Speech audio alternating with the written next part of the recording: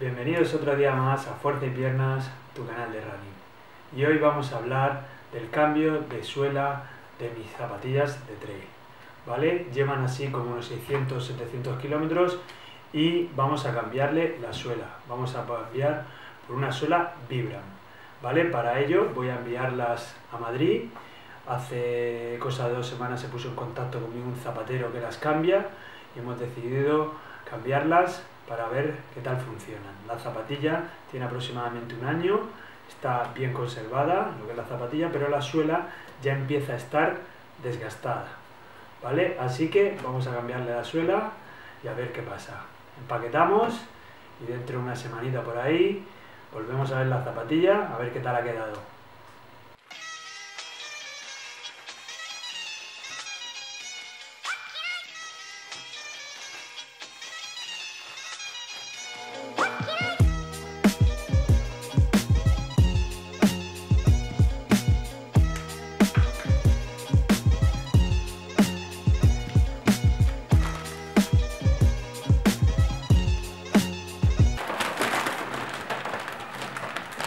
Que esté preparado. Vamos.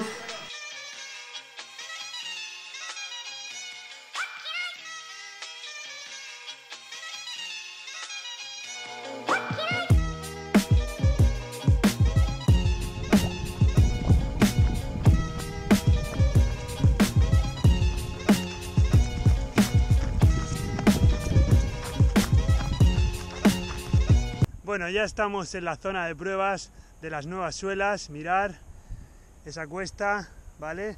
Y vamos a hacer dos cositas. La primera, cómo funcionan en subida, qué tal el agarre, y la segunda, cómo funcionan en bajada, ¿vale? También hemos probado ahora mismo hasta llegar aquí el asfalto y la verdad que bastante bien.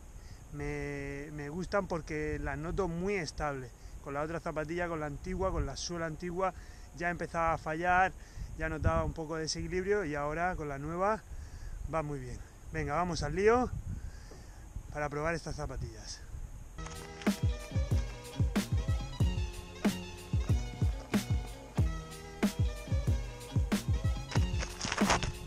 Muy buena sensación en subida, ¿eh? Y además esta tierra es de esa que tiene así como gravilla, como polvillo, y no me he reparado ninguna sola vez. Entonces, esas sola vibran parece que funciona bastante bien. Vamos a la bajada.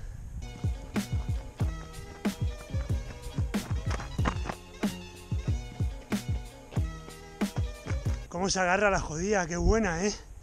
En roca es impresionante, o sea, se agarra, ¡guau! Se pega un pie de gato. Después ya en la gravilla, estas cuestas que tienen mucha tierra suelta y es muy jodido, pero bueno, ningún sobresalto, así que ningún repalón, así que también en cuesta le doy el ok.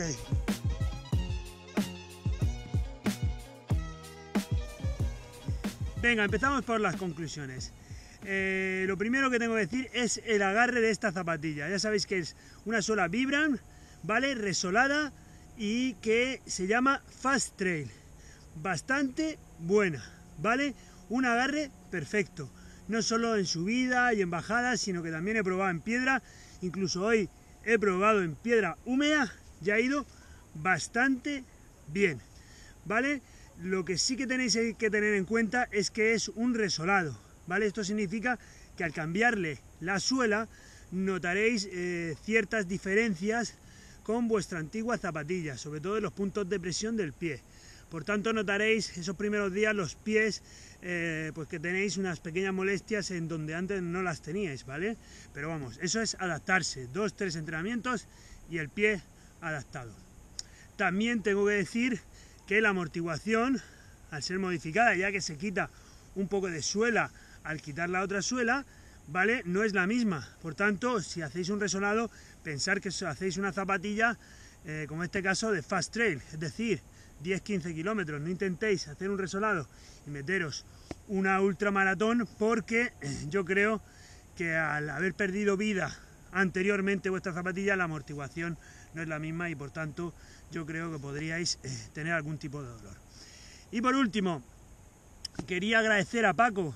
Paco es eh, el zapatero que me ha cambiado la zapatilla, la suela y nada, decirte que muchas gracias que gracias por este resolado y que por el precio que es, yo creo que bien merece la pena porque tenemos una segunda vida de tu zapatilla, si le tienes cariño, aprecio, si quieres seguir corriendo con ella, yo creo que el resolado es una buena, muy buena solución.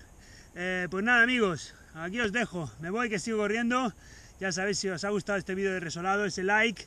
Y no olvidéis suscribiros que dentro de poco ya estoy en los 500 suscriptores y esto va para arriba. Y yo que me alegro mucho, así que fuerza y piernas, nos vemos pronto, espero que os haya gustado este vídeo del resolado, adiós.